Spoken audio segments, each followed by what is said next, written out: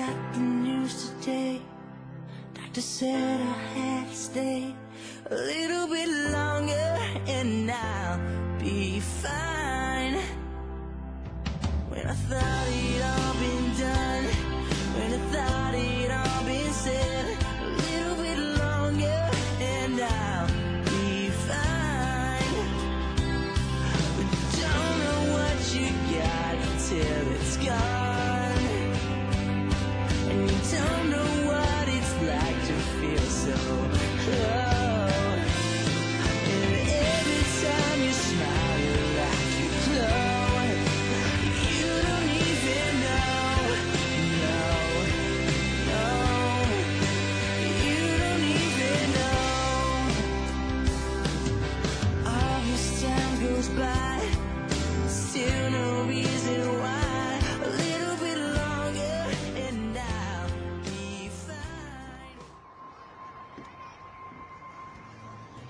It's a pretty powerful word, huh?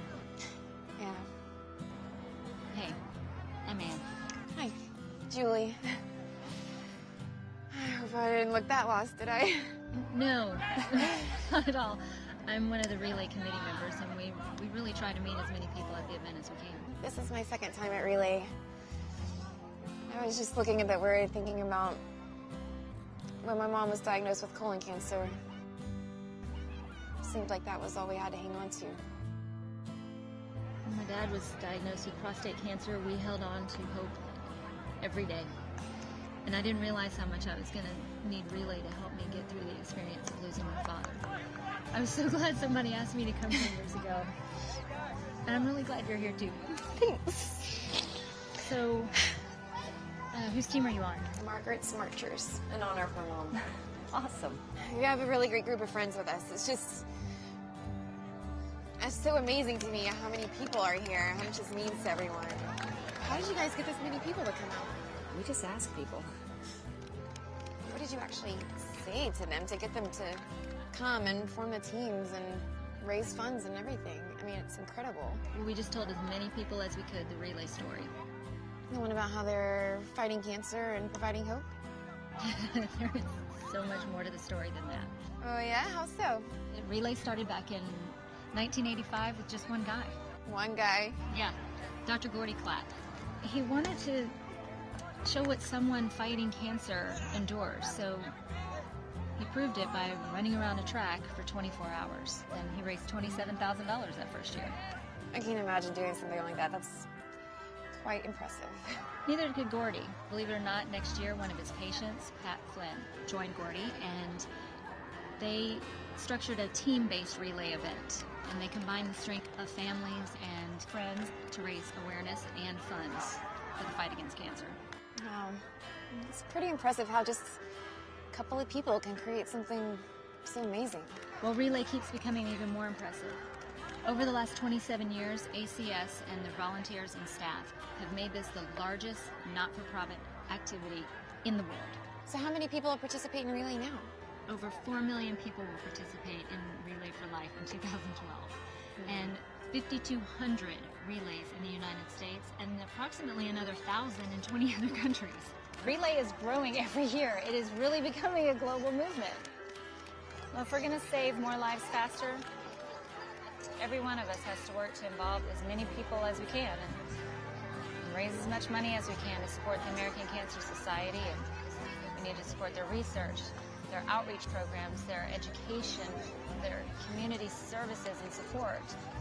We don't apologize for our what we call our passionate aggression to end this disease. We, we ask others to join Relay to make contributions to the American Cancer Society, and and we need people like you. And you. We're fighting to save more lives faster. That's how you got all these people here? You just told them the story and asked them to come? Yeah, and we made sure they knew the relay story so they could ask someone to join them.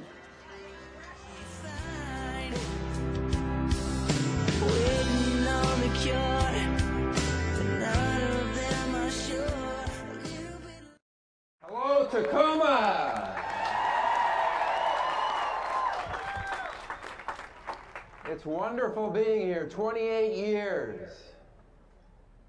The City of Destiny Classic. That's what we called it back in 1985.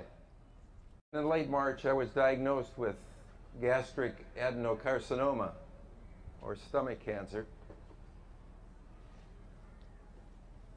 Thank God all the uh, scans thus far have been negative for any spread.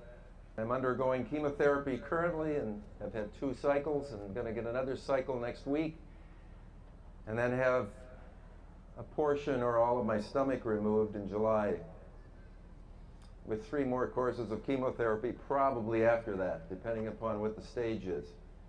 So things are positive, okay? Positive.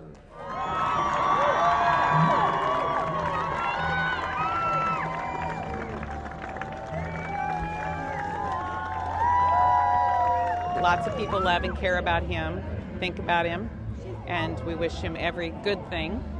And there's a lot of people who are holding him up in very ways that he'll know and ways that he never will. I hope that he gets just a fraction of the hope and love that he's created in this world. I hope he gets that back. I hope he has a sense of that every day and that he knows that he can beat this thing because he's helped so many people beat it.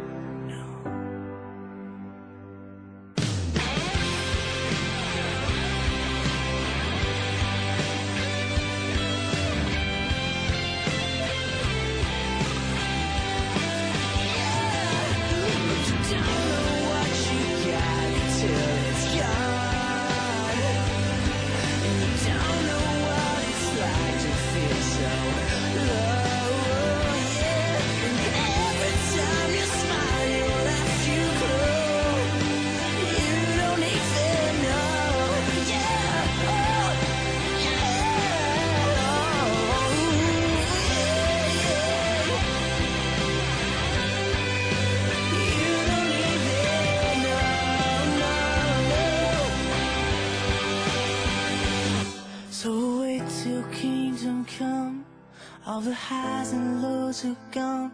A little bit longer, and I'll be fine.